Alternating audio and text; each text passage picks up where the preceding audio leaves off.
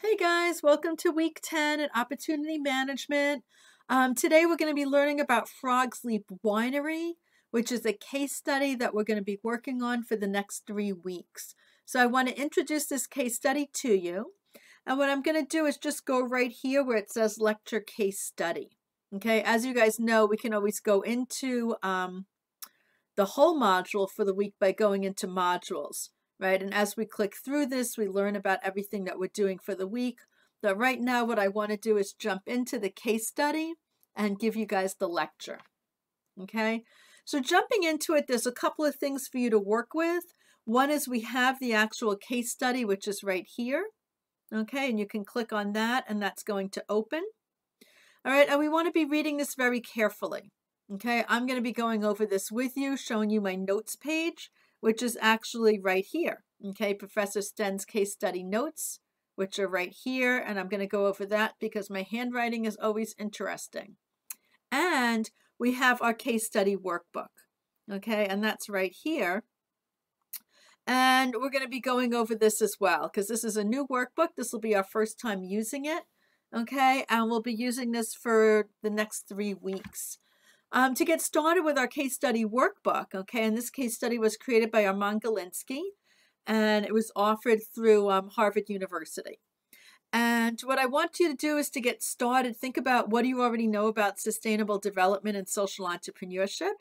And at this point, you guys should probably know quite a bit, right? So take a, a write down of what it is that you know, and then what do you want to know? Okay, what else do you want to know, especially in relationship to the California wine industry?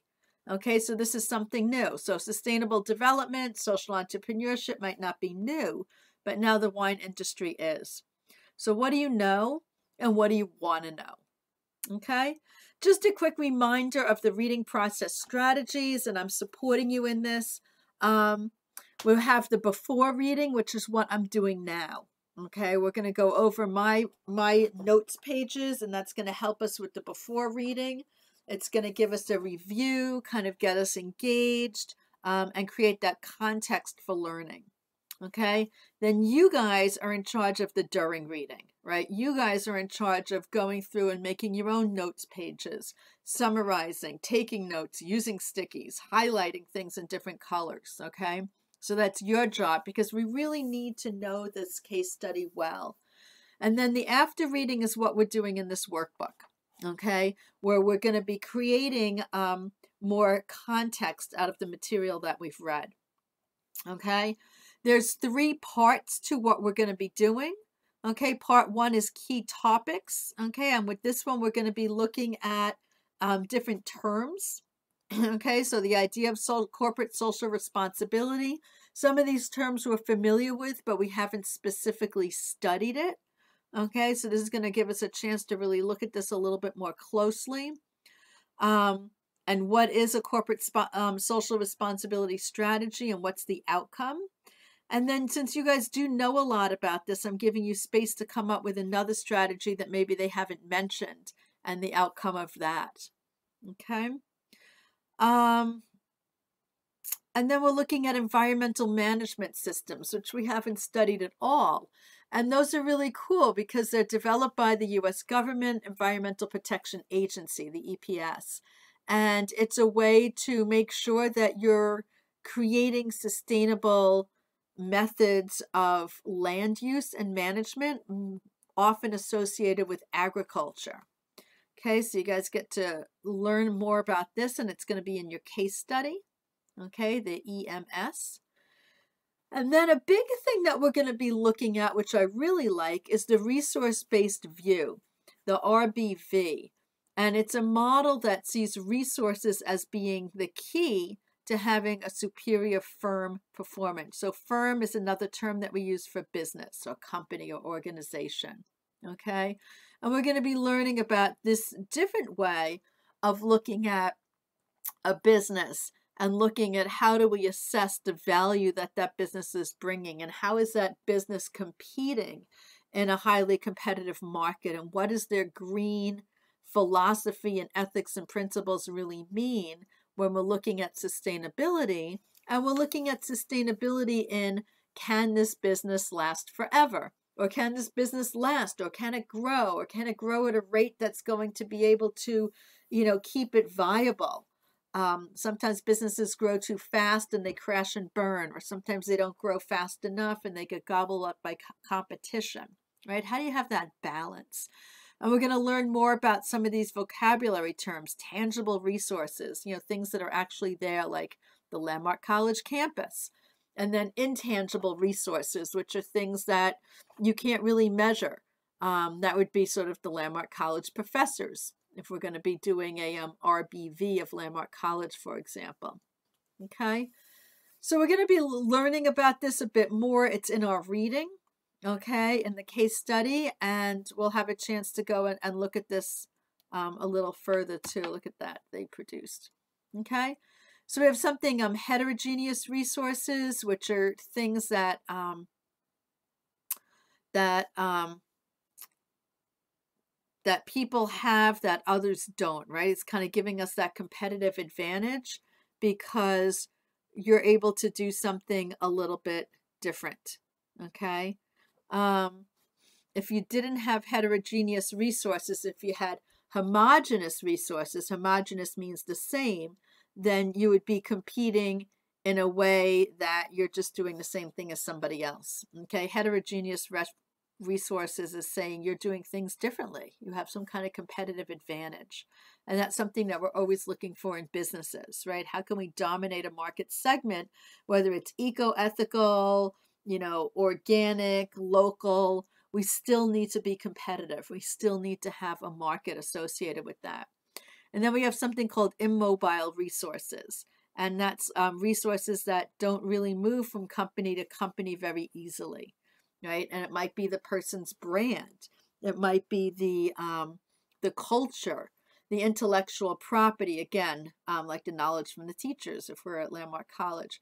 Okay, those are resources that aren't easy to transfer one from one place to another. Um, so when we're going through this resource-based view, um, we're also another part of it is called the VRIO attributes.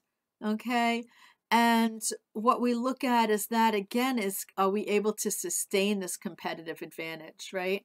Because the financial resource based view analysis that gives us a chance to kind of understand how are things working in this company to give me this competitive advantage. But once I see is something tangible or intangible, heterogeneous or immobile, and we're going to have all of that, right? So we have resources that are all of these but they all this is a flow chart so they all have to lead down they all kind of um oh and filter down to a VRIO resource okay? So yes you have tangible intangible heterogeneous and mobile on how are they VRIO okay? And then once you get through the VRIO then we can see how is that actually a competitive advantage. Okay, so this structure is giving us a way, it's a flow chart, giving us a way to kind of look at businesses in a new light to kind of assess and see where do we have strengths and weaknesses, where how are they flowing towards this idea of a competitive advantage, which also is linked to sustainability. So going down here, we're looking at what kind of things do resources exhibit. Okay, so a resource is something that a firm is using to make something out of. So if we're looking at Badger, we might be looking at their beeswax, right? Or their olive oil that they're using in their products. So if we're looking at Vermont quince, we're looking at quince, right? In this case, we're looking at wine in a vineyard. Okay, and we want to know is their resource valuable? Right? Is it helping the organization to increase the value offered to its customers? Okay. If it's not, then you have a competitive disadvantage, right? You're probably not going to get very far. Okay. But if it is, then we're wondering well, is it a rare resource? Is it something that only a few companies have access to? You know, is your sunscreen this eco ethical sunscreen that many other companies have not developed yet? Okay. If it is, then how much does it cost to imitate, right? Is it something that companies are going to be able to create really quickly themselves? Okay. If it is, then we want to know well, what's the organize, how organized is the organization to capture the value? Are they ready to go and, and sell this immediately? Okay. Um, And then that gives us the sustained competitive advantage. So to go through it again, if we go down this yes, yes, yes, right? I'm using a valuable resource that not a lot of people have access to. It's really hard for them to make it. Um, I have a good organization. I'm right here ready to go. I have a sustained competitive advantage. Okay. Anytime I don't, okay, then I end up in this place here. Okay. I have maybe I have a competitive disadvantage. Maybe I have competitive parity, right? So here we have Coke and Pepsi, right? It's the same product. It's not rare at all. Okay. So that's going to give me, that's not giving me a sustained competitive advantage, right? I have to come up with some other way to be competitive. Okay. Coke versus Pepsi. Um, let's say my product is easy to imitate. Okay, maybe for the minute I might be benefiting because I have, you know, first comers advantage. But if it's something that everybody else can do too, then I need to really up my ante on my game, right? How am I going to maintain that competitive advantage as everybody else starts copying what I've just done?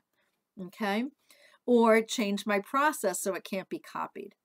And then the last thing when we're looking at the organization to capture value, okay?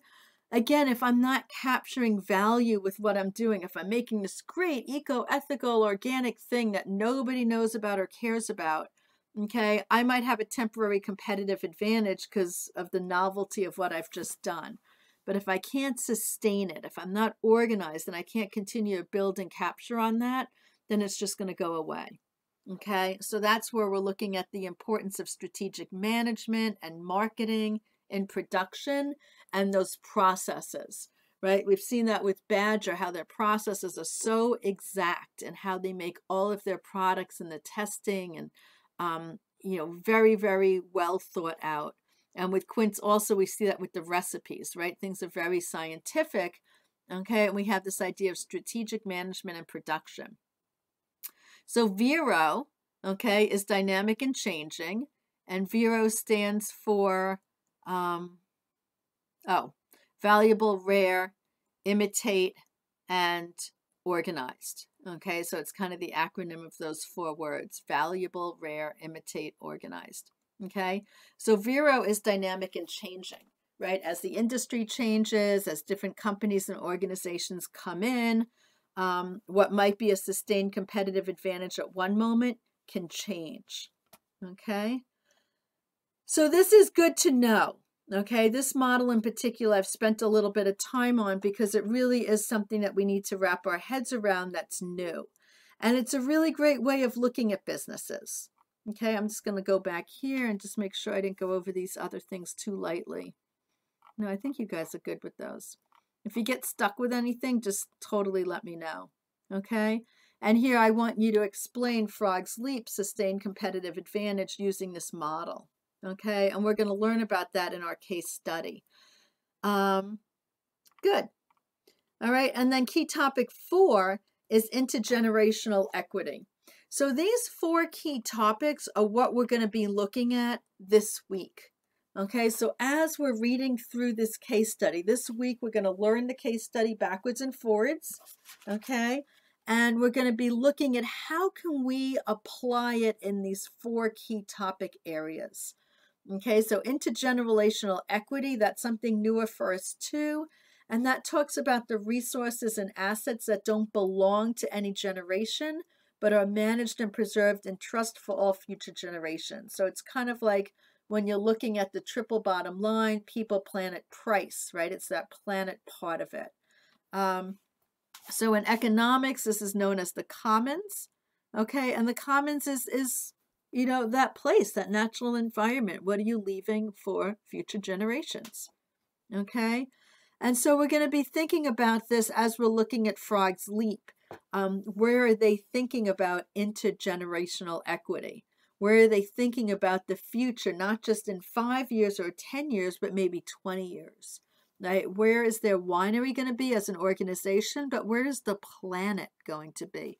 What is their um, positive impact on the earth? And we heard Badger talking about that a lot too, right? Wanting to know how can they show the positive impact that they're having in the long term. Okay?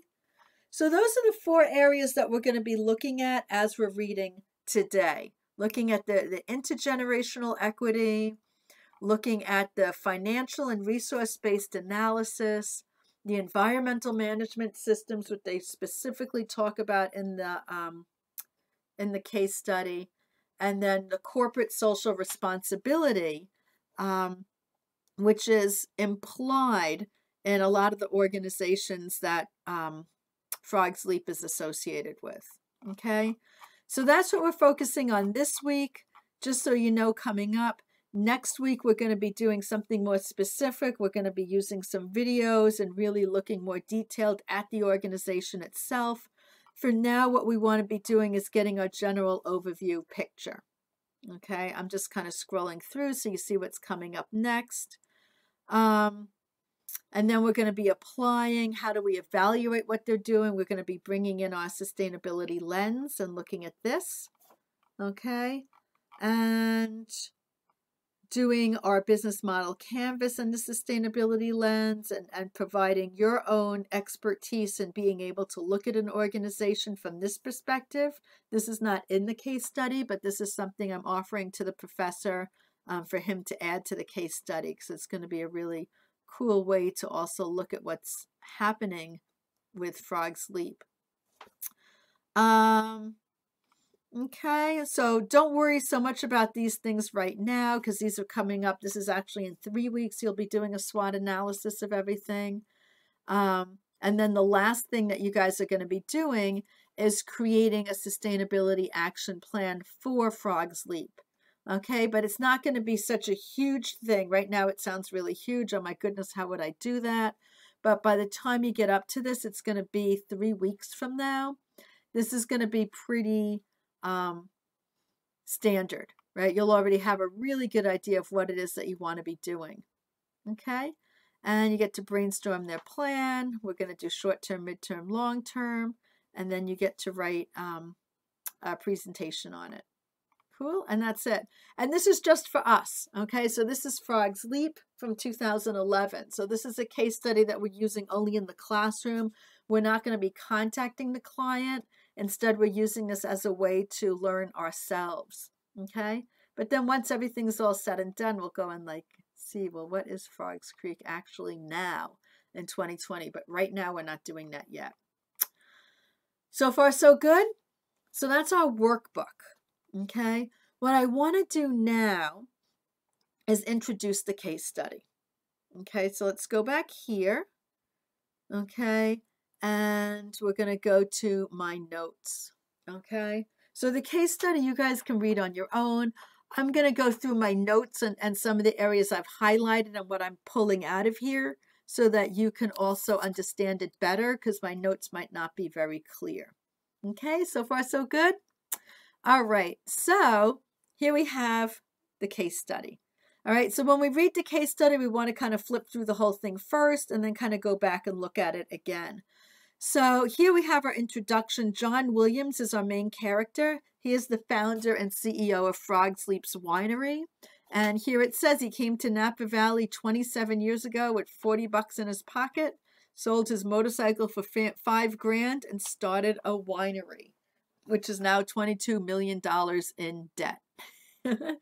Sounds like the beginning of a horror story, right? But it's actually a very interesting story. Um, you might be surprised to know that a lot of today's really big successful companies also carry a lot of debt. And as long as they can manage the debt, as long as they can make the payments back on the loans that they've taken for their own development and growth and still also pull a profit, then they're going to be able to continue as a business. Okay. Um, here we have a quote In order to make a small fortune, you're going to need to start out with a large one. And that's kind of the modus operandi in the winery business, right? Wineries are usually expensive, but John came and did it differently.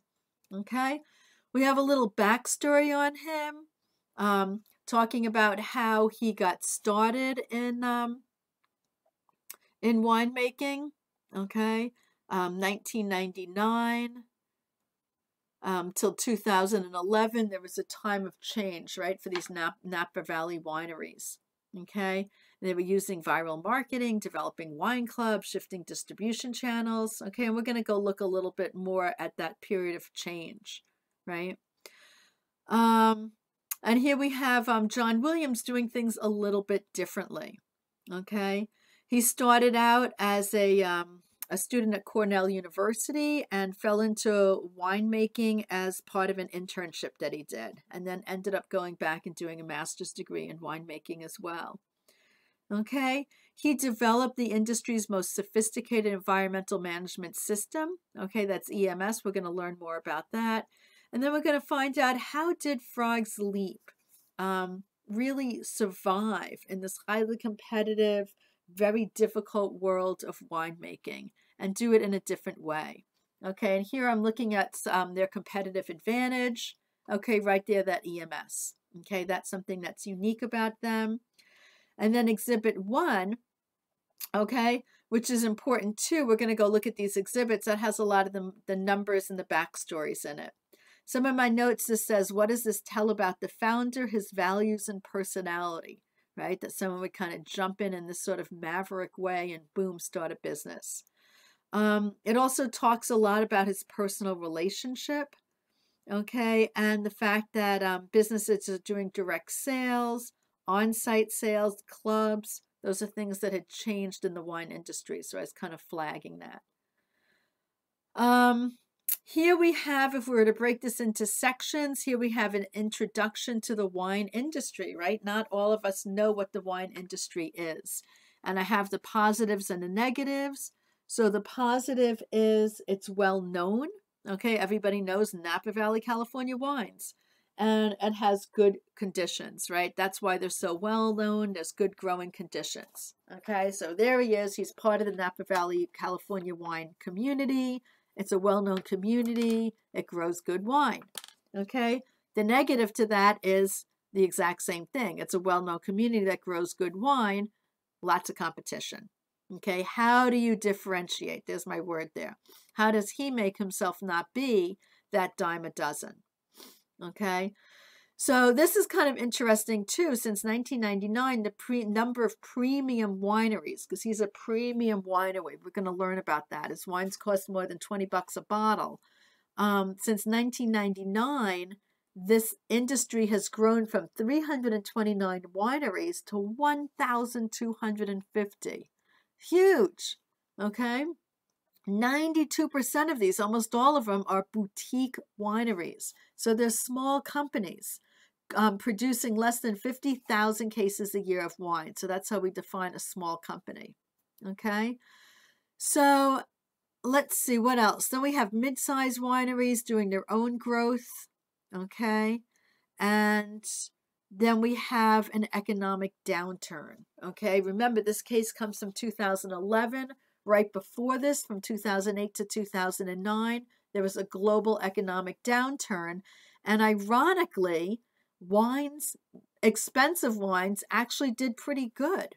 Okay, so here's my big question Why would expensive wines do better in a global economic downturn?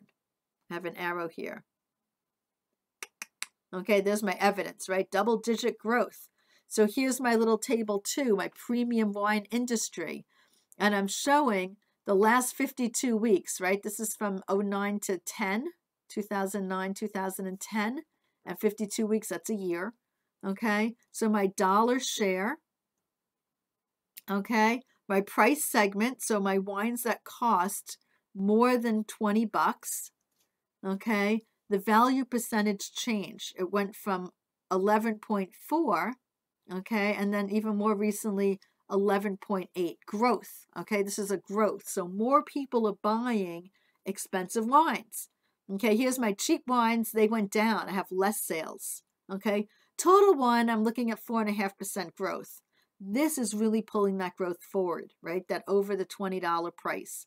Here I have my cheap wines, three to five dollars or three to six, you know, six to nine. These categories are falling, right? I'm having less sales in this area and this area is growing. That's crazy. Okay, well, maybe because they're expensive. But also, if we look at volume, okay, so the volume of sales is also increasing. So it's not just I'm charging more for my bottles, it's I'm selling more bottles as well. Okay, so on both areas. So why would that happen? I'll give you a clue. When you're broke and you can't afford the fancy dinners and beautiful lifestyle you used to have, you can at least feel good having a good bottle of wine once in a while. And that's what people ended up doing. Um, higher priced wine, you know, spending 20 bucks on a bottle of wine was a lot less than spending 120 bucks on a good dinner. Okay. So, yeah, there was an economic downturn, but people still wanted to feel good about something. And a nice bottle of wine was actually more affordable. Okay. Um, so what else do we have here? Going on to the next page, number two. Okay, we have how the US is dominating wine consumption. And before we go there, let's go look at tables one and two because that's really important. So I'm going to scroll all the way down to the bottom. Okay, and here we have tables one and two. Okay, lots of scribbles on here. And look, there's my sticky note. Okay, so John is a student winemaker. This is the story. Okay, starts in 1884. Okay, boom, there was some wine being being made somewhere. And then 1972, here comes John Williams, okay? A student at Cornell did an internship at a wine company. Loved it, okay? Um, and look at the time frame here too, because this is important as we're looking at entrepreneurism and opportunity development. This winery did not develop overnight. He was a student, so think about this, you guys, in your own journey. Eight years later, took him eight years before he became um, a head winemaker in the industry. And then another year before he actually became the, the entrepreneur. So first he was a student for eight years, he was an employee for one year, and then he was an entrepreneur. Okay, so in that period of time, he's able to build his skills, his management, his strategy, and learn from others. So he did a student internship, he went back, he became an employee, and then he became an entrepreneur. And he also spent four years, even while he was an entrepreneur, he wasn't working full time at his own winery. He was still working at someone else's winery. He didn't start working full time until 1985. So for four years, he was with a day job before he became a full time employer of his own company. So that's important to think of too, because a lot of times we see people starting companies and we think, boom, that's just how it happens. And it doesn't. Okay, it's a gradual process, it's very organic. Okay. Um, what else did I put out here? So here we have this period of expansion, right? He gets married. Him and his wife are working on this winery together. Um, and then 1994 to 1995, they buy another winery. Okay, so now they're expanding. Um, 2005 is when they put in their first solar system. Okay, that's pretty cool. We had a divorce in here too, but I think they stayed friends. Um, and then 2006, we had a LEED certified building built. And LEED is a, um, a way of building things that's eco and sustainable and generates energy, like our STEM building is a LEED certified building. Okay, so that's where we're starting to see that $22 million in debt. Okay, because they've invested into a lot of eco friendly um, practices okay which actually when we go into the case study we see it's actually a good decision and it's paying off by the energy that it's creating. They also here in 2009 created a marketing club the fellowship of the frog okay which is a whole new area of sales very very innovative. In this period of time here 1993 2002 um, he's creating new wines he's doing a lot of product innovation okay so all of this is, is telling me the backstory, how this business got to where it is. Exhibit two is talking about the California Sustainable, um, I have to look because my sticky note is right on top of it. The Sustainable Wine Growing Program, okay, SWP. This is also key, all right? And to understand this in the context of the business model canvas, we can see here we have key activities. Okay, so what it, what this is, it's the Wine Institute and the California Association of Wine Growers partnered to develop this sustainable wine growing program in 2002. Right? Remember, remember we're talking about um, our competitive advantage. We're looking at extreme growth in the Napa Valley wineries. Well, how can these wineries compete? All right. And what they did was they band together and they created this thing called the Sustainable Wine Growing Program. And collectively, they promoted that together to be able to build more of a market niche for themselves and a more of a competitive advantage. So they were working together, many, many wineries, okay, so they could all benefit. So the key activities that we have is high standards, self-governance, education, right? Working with neighbors, communities, and other stakeholders to make sure that they have this open dialogue, okay? Those are all key partners. They're not part of Frog's Leap, but collectively they're all helping Frog's Leap. Okay, we have a vision um, where we're looking at, at sustaining the community for future generations, right? So that goes back to that question in your workbook um, where we were looking at the intergenerational equity. Okay, that's where you see it right there in the SWP. Um, we have the three E's of sustainability they're talking about right here, where it's environmentally sound, it's socially equitable, and it's economically feasible. Okay, so that's really important when we're looking at our intergenerational equity. Okay, those three E's of sustainability. And what does this say? John's, here I am reading my own handwriting. Um, let's see. John's annual conferences. Okay, John's annual conferences.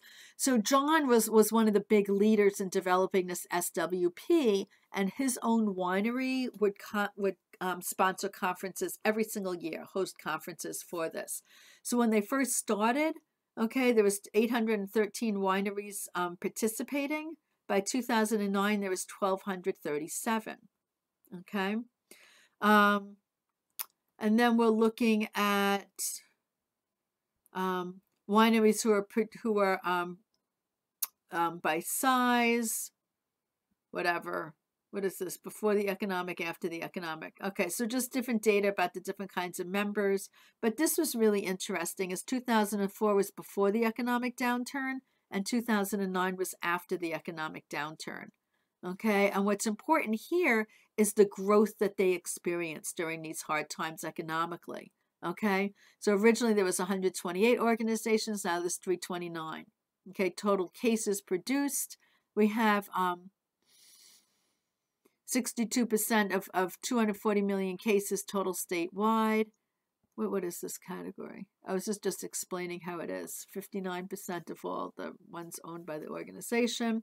So anyway, we're seeing growth. Okay, this is the bottom line. We're seeing growth in this despite the entire industry having bad economic times. Okay, and remember, only the high end wines were getting the increased market share during those bad eco economic times, but still, we're seeing a lot of expansion in this area of sustainability. Okay, so, and then I have some language here that we're going to learn about in just a minute. And this is very important. Okay, we have this idea of a LOHAS market, which we're going to learn about in a minute. Boomers, baby boomers, and increased value for premium wines. So those are the three things that really drove the growth for this particular type of approach towards winemaking. What does that mean? So if we go back up here to our case study, and we're looking at consumer segments. Okay, so this is now page number 147. This is huge.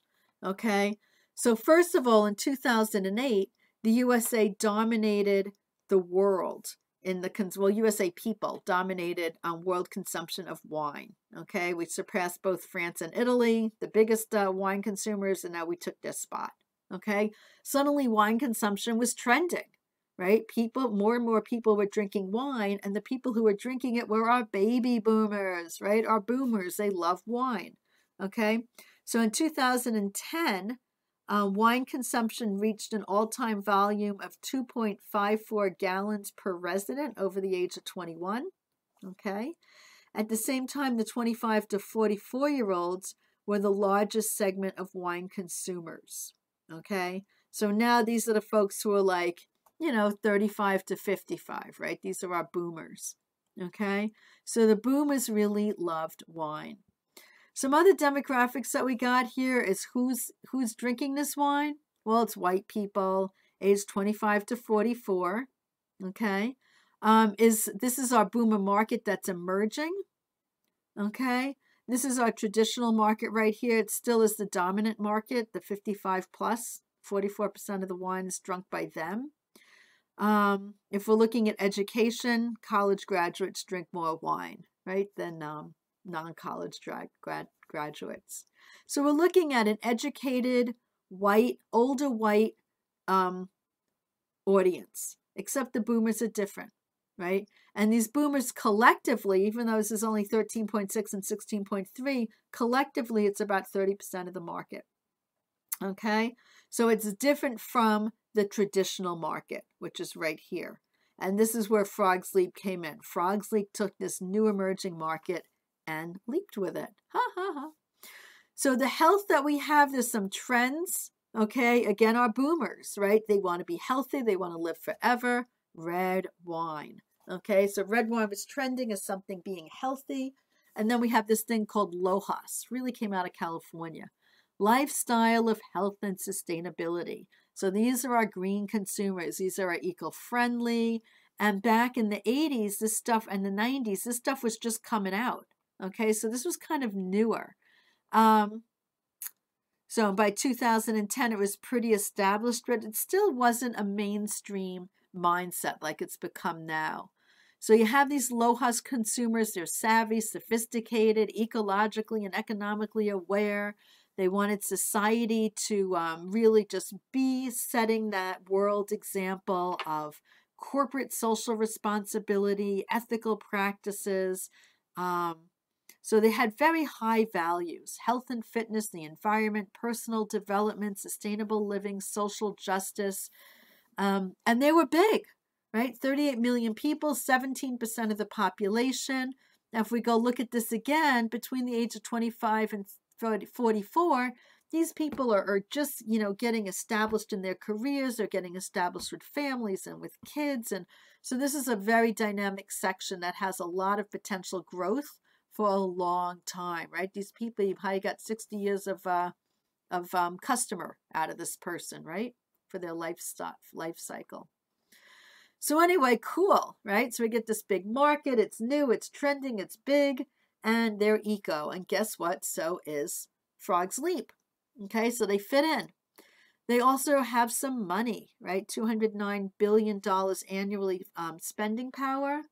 And the younger ones, 14 to 24, were the most concerned about issues such as climate change and environmental protection.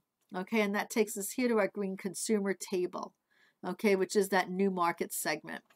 And what's interesting with this, and then we're going to go back to the reading, is that here we have our average age is 40, okay, so a little younger than all consumers. This isn't just wine, this is the green consumer in general. Um, a little bit more feminine, okay, Again, they're white, but we also have more diversity. Look at that from the average market. A little bit more diversity, which is cool.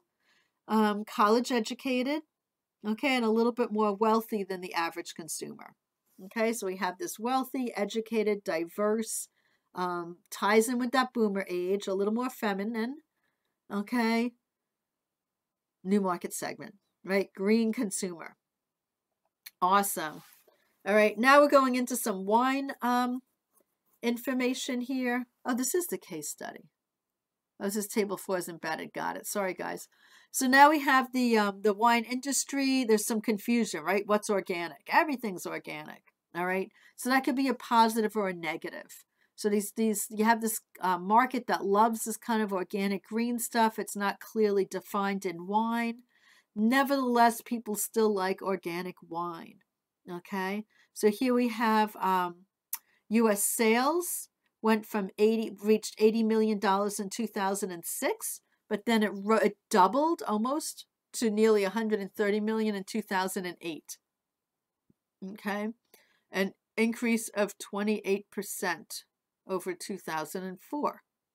Whatever. So we're seeing growth, okay? Growth in this idea of organic, all right? So that's number two right? So number two is U.S. dominates consumption, and we have these LOHAS boomers. All right. Okay. Next, we have the California wine industry, right? So what exactly is happening in this particular industry? So it's a new market segment. Remember, we saw incredible growth. These boutique wineries, they were never there before.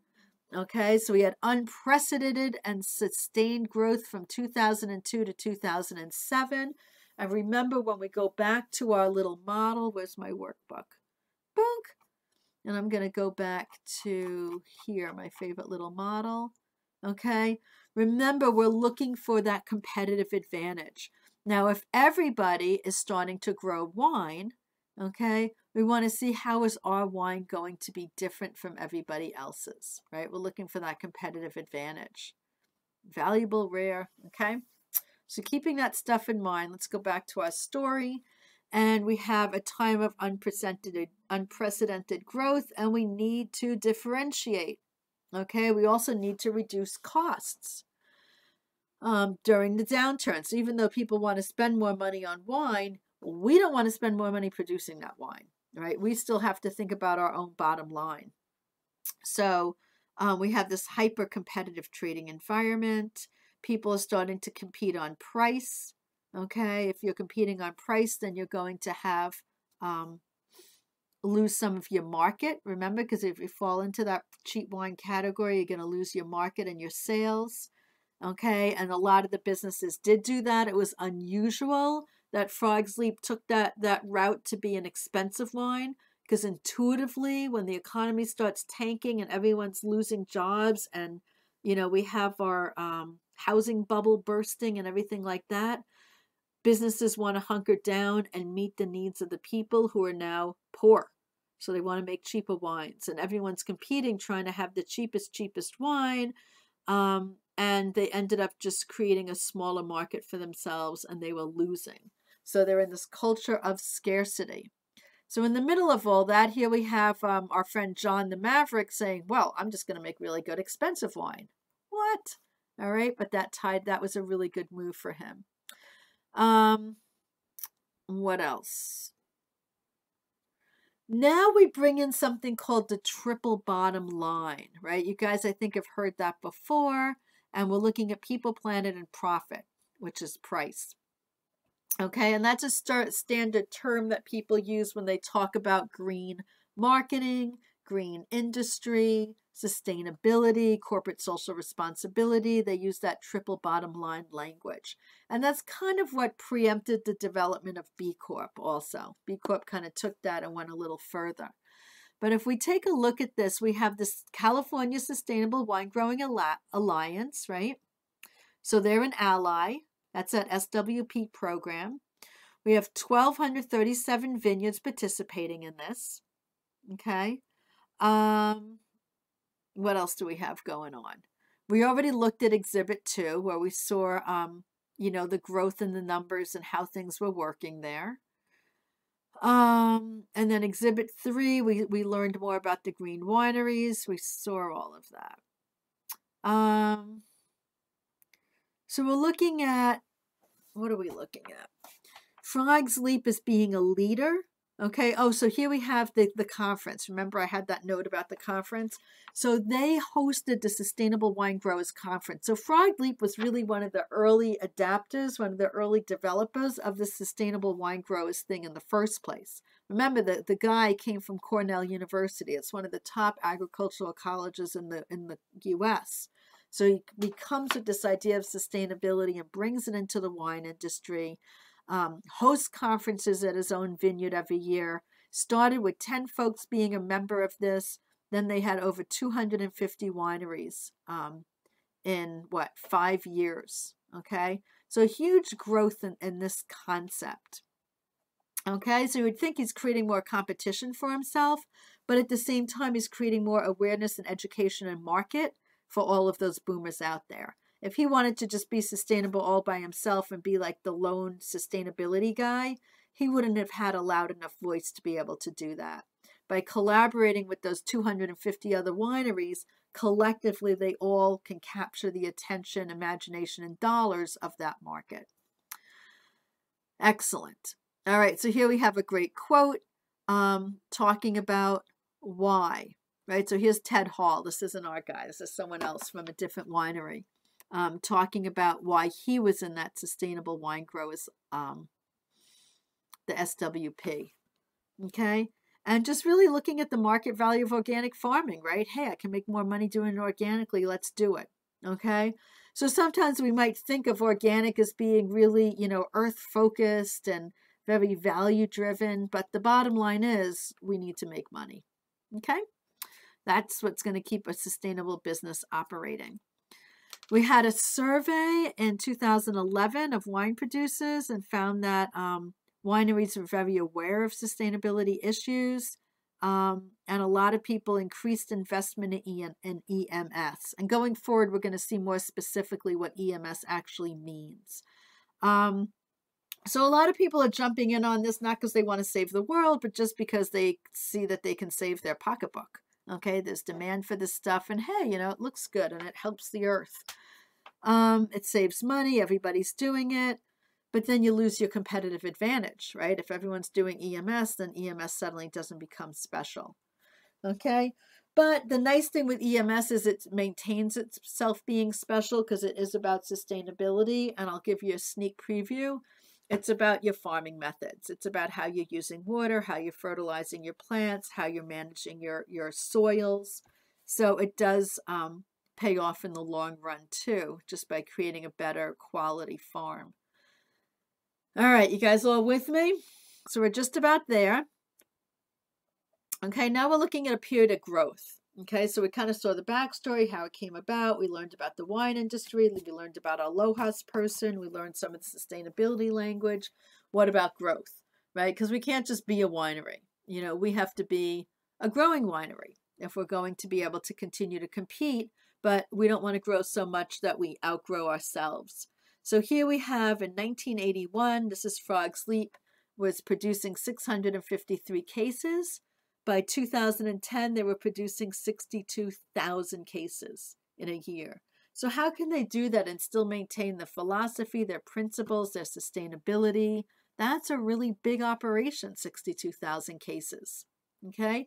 They started with a Sauvignon Blanc, all right, and now they're doing mostly red wines. Okay, so they've really re evolved a lot over the years. Here's their price points. Okay, most of their wines fall into that higher than $20 retail category. Okay, ties in again with those boomers and the LOHAS. It's that new market structure. Okay, again, those LOHAS folks love the health benefits of red wines. So these guys are right there. Okay. Um, here we have a staff headcount. They grew 100%. So they had 25 employees, now they have 50 employees. Okay, a lot of their employees are folks working in the field, trimming the plants, um, you know, putting the vines on those wires, you know, just really being farm workers. Okay. Um, they also had a tasting room. They have different levels of management that they've developed over the years.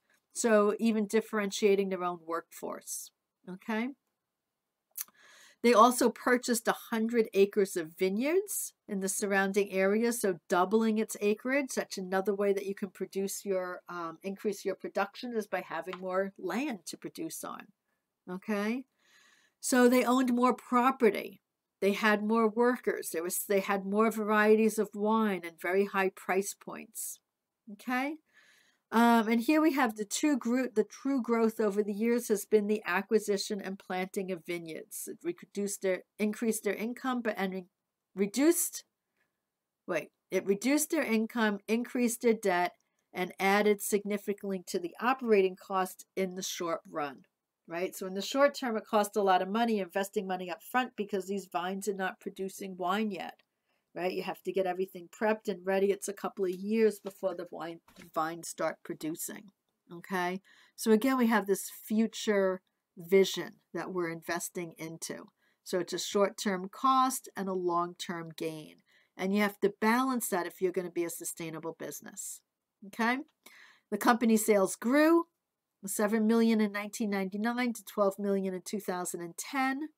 Okay, and that's net. So net cost is after you've taken out the operating cost. So think about if you, you have your fish net in the fish tank, you're going to go pull out the fish. Okay, you use the net, you only get the fish. You don't get all the water that's also in the tank. All right, and that's where you're looking at net sales. So when they say net, they've taken away all the other costs. It's just basically what's left over for your pocket. Okay, sort of, because that would be profit. Um, we have something called a three tier distribution chain, nothing crazy. It just means that you're selling to restaurants, supermarkets, and wine specialists. Okay, so there's a little bit of differentiation in the market, but that's how wine is sold. Um, there's something called resellers, right? So they're also um, supermarkets. Oh, we did all of that. Okay, there was a 60% increase in sales, which was kind of cool. Okay, 80% of the sales, this is Frog's Leap, um, were in the US. Okay, but then they also had some sales in Japan and Europe. Um, big thing that they had was the Fellowship of the Wine Club that gave them direct sales so they could sell right to consumers. So they have a 50% markup on their wine. So my $20 bottles of wine are actually costing them $10 to produce. Well, actually, they're selling them wholesale. I'm sorry. They're selling them wholesale for $10. And then the stores are marking them up and selling them for $20. So when they do a direct sale, they're going to be selling at direct sale $20. So they get a lot more money for each individual bottle they sell direct sale, right? As opposed to wholesale. So they do both, right? Wholesale they can move more more product, but they get less per product in in um, cost in earnings direct sales, they're probably going to sell a little less product because it's individual sales, but they make more money on each sale. Good? All right. So Frog's Leap reputation um, began with a good review. Okay, but then they didn't really care. A lot of the other wineries were competing on getting good reviews of their wines, and Frog's Leap didn't care. He was more into the land and developing things in an eco-sustainable way. And by the way, yes, his wine was good, but he wasn't competing like the other vineyards. And that's another thing, you know, where you're looking at that competitive advantage. Where is he creating um, new value that others are not? Okay, and his big thing was fun, right? This guy was a maniac. You know, he just like came out of nowhere, bought this winery, you know, sold his motorcycle, boom He's out there, he's having fun, he's doing things differently, and it's cool, right? And that's starting to get him his own market. Okay, it was good timing for him too because he could again get into that LOHAS population.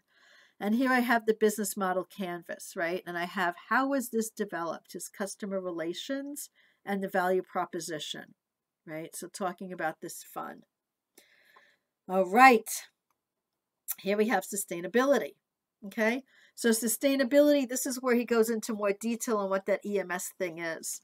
So we're looking at dry farming, which means no irrigation. So if it's a drought, it's a drought. Okay, and if it rains, it rains.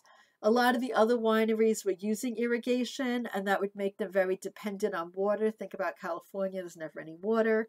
And also didn't make for very good wines. Wines actually, the grapes do good when they're stressed. And um, so dry farming was a better method of farming and it was actually cheaper, okay, and more sustainable. Organic, okay, so doing a lot with replenishing the soils, using cover crops, using um, compost. That also helps to preserve the water in the soil. So again, minimizes that, you know, helps to keep that dry farming effective. And it's biodynamic. So again, that's the compost and the cover crops. So we're, building healthier soils. We have healthier plants, better wine. They don't need to be fumigated and herbicided and all that other stuff because the plants were healthy themselves. The soil was healthy. The workers were being given annual contracts to work, so they were well trained. A lot of times, these wineries will have migrant workers, so they come and go. It's seasonal. But uh, Frog's Leap said, no, we're going to pay these workers full time for them to stay here year round and they ended up with better quality workers.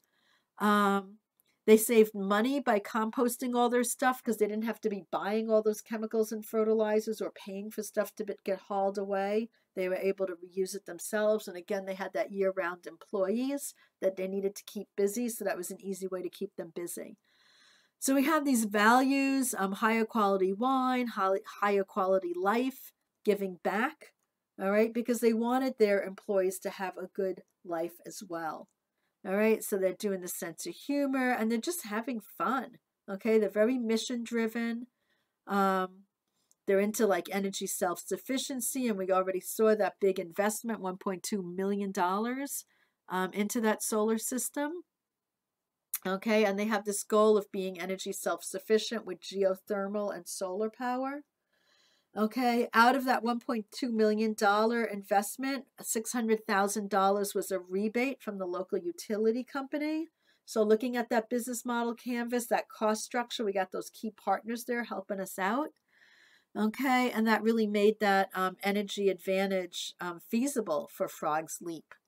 Okay, so they're, they're spending money up front, but then they don't have a lot of cost. Their operation costs are lower. So they're slowly earning that money back over time. They expect in seven years they would have earned back pretty much everything they invested into their energy system. Um, they're also saving CO2 emissions because they're not driving for a million miles. What are they talking about here? Um, oh, okay, because everything's being developed and um, processed locally right on their own facility. Okay. Oh, and that's the value of the CO2 emissions that they just created. Okay, it's equivalent to not driving 4 million miles. Um, again, LEED certified building. So, leadership in energy and environmental design, that's what LEED means. And that's the fourth step. Okay, so there's specific steps here that they're taking to be sustainable. So, think about this with your own businesses, right? When we're looking at Badger, they have a, a, a green building, that LEED building they're also um, interested in investing more into their own energy right so as we're learning from other people's sustainability plans we can be thinking about our own clients and things that maybe we can introduce to them or even things our own clients are doing that maybe these guys weren't that we could build into our own plan and recommendations for them okay kind of like quince was really going out and building a lot of awareness of quince you know maybe that's something that frogs leap could do is come up with some rare grapes and really, you know, specialize in that rare grape. We don't see that happening here. Um, so now we have um, good employee protections, human resource practices. Okay, and we're talking more about that full year, full time employment I was talking about. Um, above industry standards, so they're really treating their workers well, giving them three weeks of vacation, paid health benefits, um, so they have a very dedicated, efficient, safe, healthy workforce. And that actually results in more innovation, sustainability. People are really dedicated to making this winery the best ever. Cool? All right. Let's see what else we got here. Number six, the future of frogs leap. And here we have exhibit six. So let's go take a look at this idea of proof of concept, right? This holistic, sustainable, um, you know, can something like this really happen? Let's go and look at Exhibit 6. All right, Exhibit 6, where is it? Three, four, five. Oh. Well, Exhibit 6 is in our packet. Let me see. What did I do with that? Maybe it wasn't. Oh, it wasn't that exciting. All right, let's just go back. Um, yeah, I didn't really get too much out of Exhibit 6. I think I thought I would have, and I didn't. Um, okay. So last part on the open other end, the future of Frog's Leap. So this is where you guys come in for your final project. All right. So we have this great thing. John's done all this wonderful stuff. Here we are, and the industry's maturing. A lot of people are being eco. John's getting older. Um, you know, this this winery's been around for a really long time. What happens now? All right, and it's a question. Okay, so here's some humor that they used. Open the other end, ha ha, on the wine bottle labeling. Um, what does this tell you about John's personality and way of thinking? Here's a quote. How can we continue to grow sales and profits while remaining a small winery production wise? I know that some business people are trained to think outside of the box. But first, I want to know where the box is and what is in the box before I even think about what's outside. Okay? One option for sustaining Frog's Leap growth is to pursue other EMS projects, right? And so here we have some options. So one option is to do it again, right? Go do some more EMS, go get some more people involved, go and, you know, keep redoing what you've already done. Um, he says there's more work to do. They can continue to enrich the soil and, you know, just keep doing it more. It took them 10 years to kind of build what they got with their whole sustainability model. Um, so what else can they do, right? It's another, throw another 10 years in and do it some more. Another option is to look at the sales end of things, right? What else can he be doing? Well, maybe he can be doing more with the direct sales, right?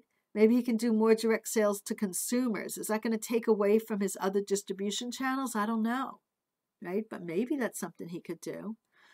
Or what's another challenge we have? Remember, we got that uh, two mil, $22 million worth of debt, right? And he wants his kids to take over this business. He's getting older now. Are they even interested in it? You know, what's going to happen um, in the future? Can that debt be sustained? All right.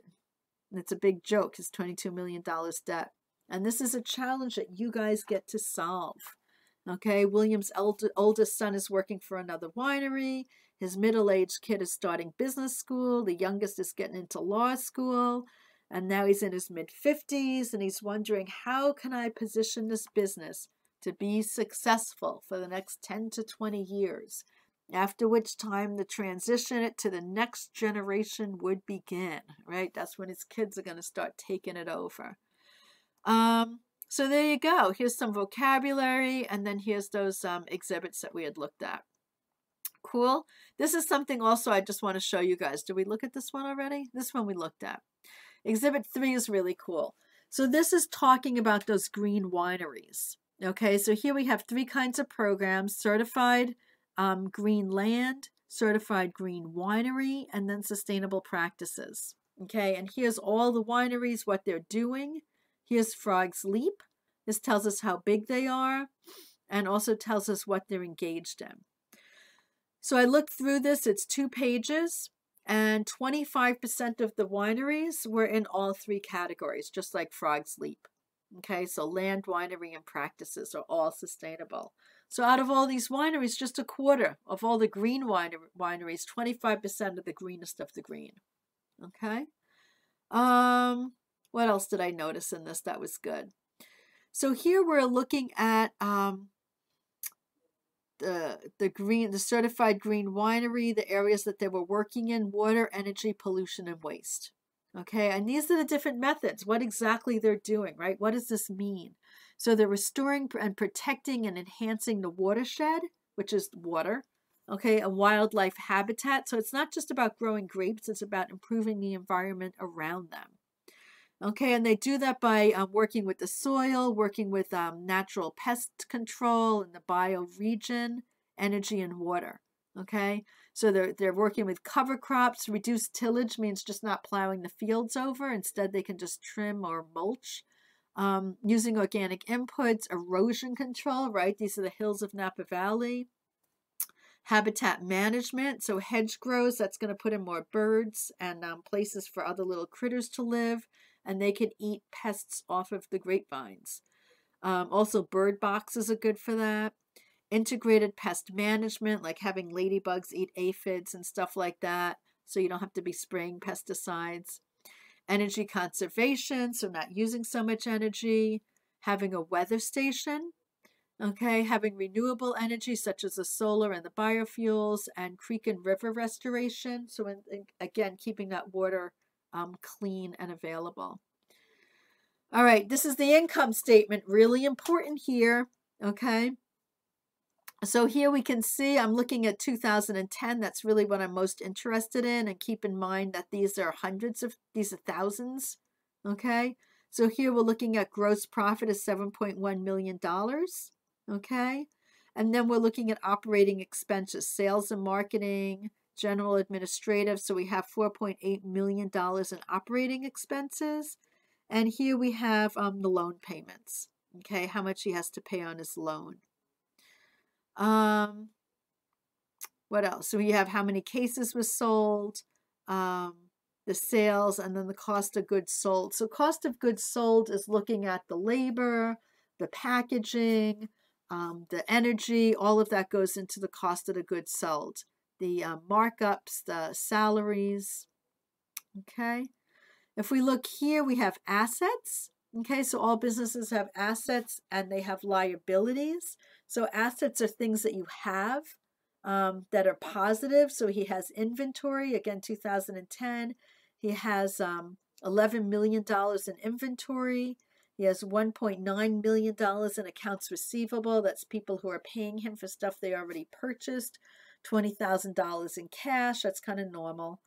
Um, prepaid and other expenses, a total current assets of $13.845 million. Okay, so even though he has that $22, $22 million debt, he has $13 million in assets. Okay, he also has the value of, of his property. Um, then we have something called depreciation, which is um, loss of value for machines as they get older. Um, we have net property and plant equipment, other assets, so total assets $39 million. Okay, that's why a bank took the risk to lend him money because they saw that his assets had value. Okay, and that kind of could be used as a guarantee for the loan um, or just for a voucher that this is a viable business. So liabilities and capital, okay? So notes payable, that's um, things that he has to pay out, accounts payable and accruals. So supplies and suppliers. Total liabilities is $25 million. Okay, so some of it was that loan debt. Okay, there we have $19 million. And some of it's these other liabilities, 5.5 million. He also has something called shareholder equity, which is kind of interesting. And that's people who invested into the winery. So at one point, he must have been offering shares or membership. And so people own that. And they can cash it in, and then he'll have to pay them back some kind of, um, you know, money. So they must have, they might have made an investment, maybe bought like a $1,000 share, you know, with the hope that it'll have value, interest value in years to come. Okay. So that's there. It's a separate item because it only becomes active if people actually um, um, cash in their their equity. Sometimes they'll just reinvest it back into the company, or they're just happy to not have it. Right? They're not going to go and cash it in. They're just going to continue to own um, that investment. Cool. So total liabilities and equity, including that, is $39 million. Okay. So there's a lot of the behind the scenes stories. How did this business grow? Where does it make its money? How is it making its money? Um, what kind of um, things are helping it to differentiate? Again, going in here and looking at this particular model. Okay. So that's what we're going to be doing now. It's just kind of going over that, putting it into these different areas of um, of topics and seeing where it goes from there. If I go here to my canvas, whew, you can take a breath. We finished our lecture. I just want to real quick um, show you some of the other things that are tied into this. Um, a weekly team meeting that we're going to have tomorrow. Make sure that you're ready. We're going to be doing it a little bit differently. You guys get to talk about something that's been of value that you've learned so far and tell us how you're doing ask and ask a question to our next student. Okay, and then so we're all going to be kind of sharing together in our conversation tomorrow. And then we're going to get into some of the nitty gritty of the work and any questions you might have from that. Um, going ahead, I'm going to go to the next page of our module. And we're going to be done in like five minutes. I'm just quickly going through the module for you guys.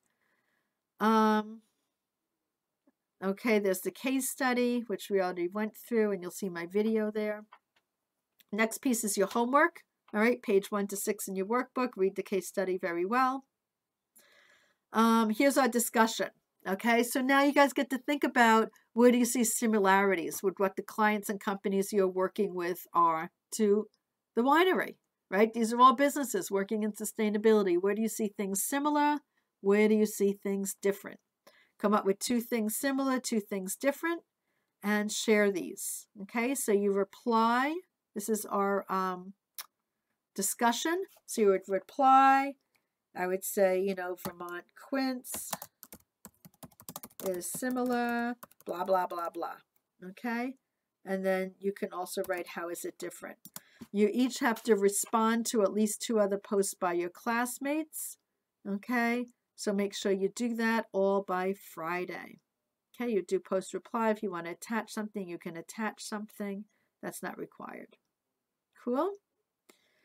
All right, next we have um, current events. So this is going to be different. This is going to be a discussion this time. And um, who's doing our current event? It's Mackenzie. So Mackenzie's doing our current event. I'm asking you guys to go to Fast Company because they got really cool current events there. This is all about what's happening in management. Okay, big thing, COVID-19. So what's going on? Find a current event from that. Talk about um, it. Okay, so what this is Mackenzie's work, and each of you will have a chance to do this. So find the article, um, post it on the discussion board. I want you to upload it because sometimes we don't always have links that are going to work. And then um, introduce it, tell us why it's important, and ask three questions. So that's Mackenzie's job. You guys have the job of doing the discussion. So once she's posted the article here, oh, there she already did it. Okay, thank you. All right, now you guys can go and respond back. Okay, she wasn't able to save it as a PDF, but it looks like we could probably just catch it from what she's done. Let's go take a peek and see if we got it. Boom.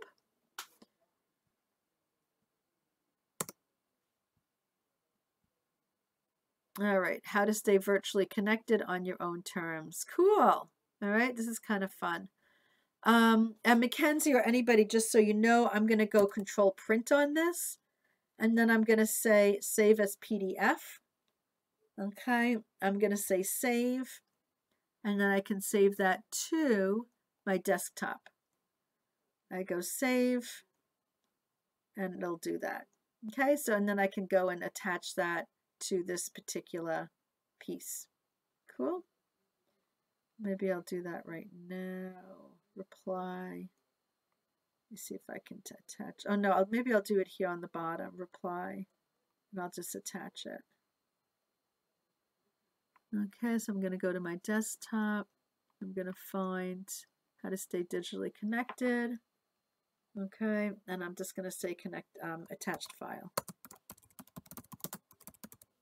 Cool. So you guys can do this yourself in the future. All right, and it's saving it. Okay, and there it is. Cool. All right, next thing that we have is our participation survey. That's the last thing. So just making sure you covered all your tracks, got everything done. This counts as attendance. I have everything due on Friday. Cool? Awesome. All right, so you guys did it. Um, let's go back here to our home page and yes. Okay, and this is where we are. Awesome. We'll have a wonderful time working on all of this. I'll see you guys on Tuesday. If you want to schedule time to meet with me on Thursday to go over anything, that's always available as well. Awesome. All right, take care.